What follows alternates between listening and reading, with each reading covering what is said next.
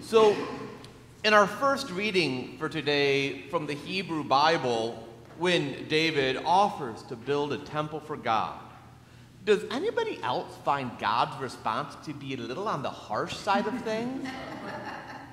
I mean, Robbie David's like, God, I'll build you a temple. It's like, great, awesome. Here is the pledge card for the building fund. Excellent. But no, no, no. Do not put God on your capital campaign committee, clearly. I mean, David is now enthroned, king of all Israel.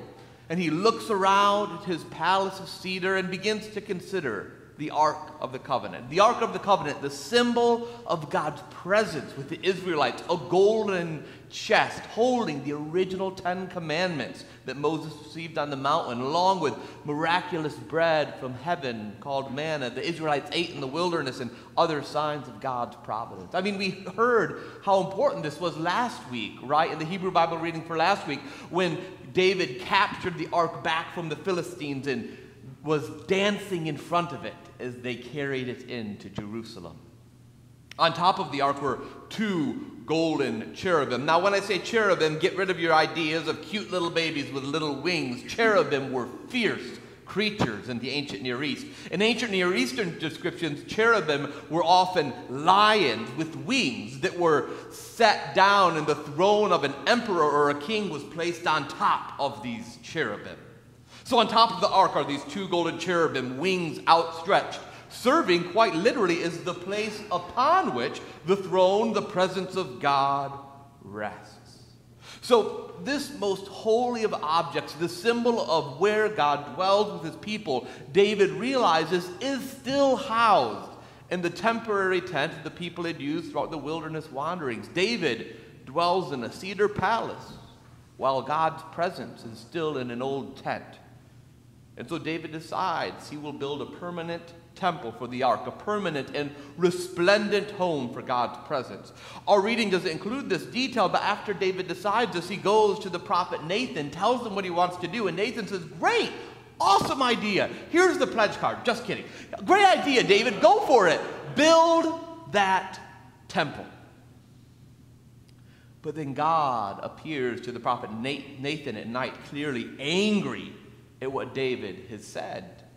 Are you the one, God asked with just a little bit of sarcasm, are you the one who's going to build me a house? I don't need your house. Did I ever ask for a house? I'm the one who made you king. If I want a house, I'll make a house. I'm the housemaker in this relationship, God seems to say. You and I read God's declarations to David, we maybe wince a little and ask, what in the world ticked God off? It seems like David's idea was a noble one build a temple for God. Why did God reject this so strongly? At first glance, we might think that maybe the problem is the idea of the temple itself. Maybe this text is, is an indictment of spending lavish amounts of money on places of worship. Get rid of the buildings, right? Given our experience of church via Zoom and YouTube after the year, this might be a tempting idea to some people. There were many people who said at the beginning of the COVID pandemic that now, look, we can see our buildings don't really matter. They don't matter at all. But that was the opposite of my experience. What I learned is they do matter. Oh, they matter so much. These are the places where we feel God's presence so much more so than in my pajamas with a cup of coffee in the living room. right? These places matter. And of course, if we pay attention to the rest of the biblical text, we know the rest of the story. We know that a temple is built, a beautiful, glorious temple. And it's pretty, pretty resplendent. It took lots of money, and God gave them the directions precisely how to do it. And the temple becomes a key focal point for the entire nation. So the temple, the temple cannot be the problem if we read the Bible carefully. The temple can't be the issue. If we pay close attention to the text, notice what God says in response to David's idea. God's problem is not with the idea of the temple. Rather, all of God's words concern the person of David and his relationship with God. That's clear even in the initial rhetorical question Are you going to build me a house? And then later, I took you from the pasture. I made you king. I've been with you wherever you went. I'm the one who gave you rest from your enemies. God's frustration seems to be based upon his relationship with David. It seems that David has lost a sense of how that relationship truly functions. And we see that at the very beginning of our reading for today, right? David didn't create the rest he's enjoying. The Lord gave him rest. David didn't settle in his house. In the Hebrew Bible reading, the Hebrew itself is very clear. David was settled in the house. Passive voice. Avoid it in any academic paper, but helpful in this text right here. David was settled in the house. By whom? Well, this is why you shouldn't have used the passive voice. It's unhelpful. But we're assuming God, right? if I had written it out, God settled David, it would have been, I can't fix it though, I'm sorry. So David, comfortable in his cedar palace, has perhaps begun to think, oh, look what I've done. Look at the rest I've made for myself in the country. Oh, maybe I should go ahead and build a temple for God too. And if you notice, David's not asking God if he should build a temple. He's not inquiring after the Lord for the Lord's will about such an important question. He just assumes that his own desires should be realized. Unlike any of us, right, who never assume when we're talking or praying, who never assume that our own desires are what God should do, right? David reasons God needs a house like I need a house think the text is beginning to pick at David's motives a little bit, maybe beginning to needle us a little too, hopefully. I mean, it's fair. People like David, like you and me, people need stability. We need a sense of rootedness, a sense of where exactly our home is. The nomadic existence is not for many. I think maybe part of the problem in this text is fear of instability in David's mind, maybe in our own, God needs a temple, a house, so that God's location can be set. God needs a house so I can know where exactly God is whenever I need God. And so I can know where to avoid when I don't want to be bothered by God. It might appear at first glance that David is looking to protect and care for God, but in actuality, I think the only thing David is protecting is his own conception of what God should look like, his own forgetfulness about what God has done. By fooling himself into believing he can protect God, he winds up instead protecting his own conceptions of the way God can and should operate. Once again, not like us, right? How often do we think it's our job to protect God? To protect God. When we're really just protecting our own conceptions of God, which are probably a lot weaker than God Himself. But our God, oh, our God, our God doesn't need to be protected, and our God does not stay in one place. God cannot be nailed down and boxed in. You see, this is where the movie Indiana Jones and the Raiders of the Lost Ark gets it wrong. You know that scene at the end of the movie when the Nazis have the ark and then they open it up and this powerful force escapes them within the ark, melts them into nothingness? I have no idea why anyone thought that's a good movie for kids to watch. Oh my goodness, I can't even. I mean, Oh boy, it, it's terrifying stuff, right? But contrary to what the movie assumes, God never dwelt within the Ark of the Covenant. Remember, God's presence rests above the ark, resting on those cherubim, that cherubim throne. God's presence rests there, always ready to go out and move among God's people. That's what God says in this text. Since the day I brought up the people of Israel from Egypt to this day, I've been moving about in a tent and tabernacle whenever I've moved about among all the people of Israel. God's not like us. He doesn't need a home, a rooted place. Because even when the temple is built later by David's son Solomon, God is very clear that the temple won't be a house for him to dwell in. That's the language God used when chastising David's preconceptions in our reading. Rather, God makes clear that when this temple, this house is built, it will be a house for his name, not his dwelling. God will still move about God's people. God will always move about God's people. And that's good news Because when this text was actually edited together, when they took all of these old stories that they'd been telling themselves for hundreds of years and decided to put it in a book, was after the exile, after the temple had been destroyed. So down the, down the road, hundreds of years after the story about David, after the temple is demolished, their nation destroyed, they tell themselves this story. They remind themselves that God never lived in that temple that God is not constrained by that temple. They tell, themselves, they tell themselves this story to remind themselves how God clarified that, to be honest, He always prefers the nomadic existence, moving among His people, wherever His people find themselves, even when they find themselves far, far from home.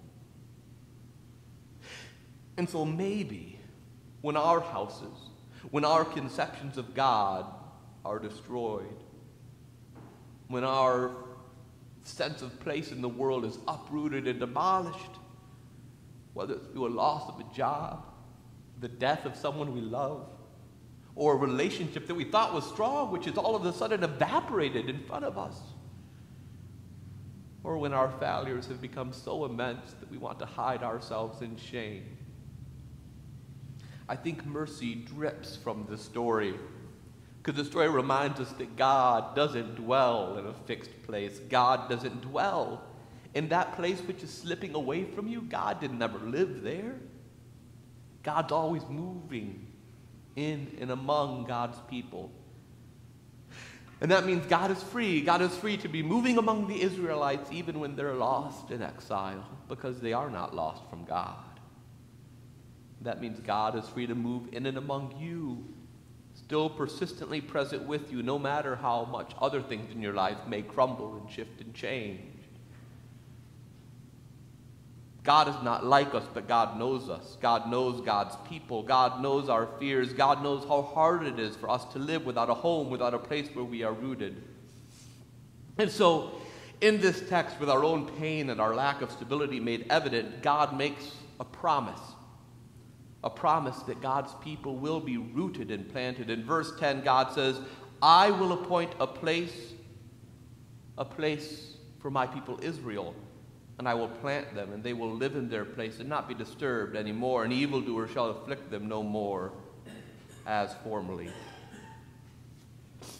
David, oh, David, oh, silly David, searching for a way to nail God down, a way to ensure stability. David, you think you'll build a house for God? No, God says, perhaps not with as much anger as we thought, but perhaps with a bit of love. No, David, I'm going to build a house for you. And what kind of a house does God build for David? It's lovely that word house has two meanings in English, right? House, building, and house, family, people, right? The house of Windsor for the monarch. in Hebrew, it's the same way. Bayit has two meanings house, building, and house, people. God's going to build a house that won't require a bunch of cedar, won't need a pledge card. God is building a house that requires one thing, and that's a people.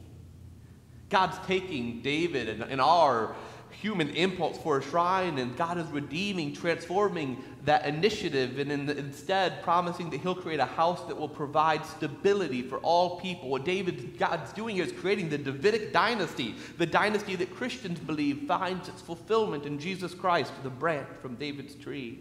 And throughout the Hebrew Bible, on through the New Testament, even today, God is at work building a house, a people where God can dwell. And even we hear in the epistle reading for today from Ephesians that that's what God was doing in Jesus in the first century, the division at that time being between Jew and Gentile. The reason the house God is building is so strong is because God is always taking people that couldn't imagine, them, imagine themselves in the same building with that other group. And God is, God is bringing them together. One united people. Jew, Gentile, slave, free, male, female, Greek, Roman one people conservative, liberal, wealthy, poor, speaking English, los que hablan español, documented, undocumented. One people. This is the temple of God today. The temple of God today is found in the communities we form as baptized Christians. And that house finds its fulfillment in the church across the world, finds its fulfillment in this very community when we're doing what we should be doing by being a place of welcome, a place of stability, safety, and justice for all human beings. The building matters, don't get me wrong, the building matters. But the building has no meaning without the people who are in this building. The reason the building matters is because of what you have given to the community that lives here. The way you, as the people of God, have turned this community into a temple, a sacred space, a sanctuary for those who are fleeing injustice, who are fleeing a sense that they could never be loved. You are the ones who build this house. This house that God is building through your faithfulness. So, in your life, no matter what instability you encounter, no matter what lack of home or rootedness you feel, no matter what disorientation that swirls around you, God's offering a place for you to be rooted in by you becoming the walls and ceilings of God's house. You'll find stability, God tells us, not by making a house of your own desires, but by joining with people very different than you and extending your hand in love, mercy, forgiveness, and a commitment to build a house where all people can find themselves finally. That's where God dwells. Amen.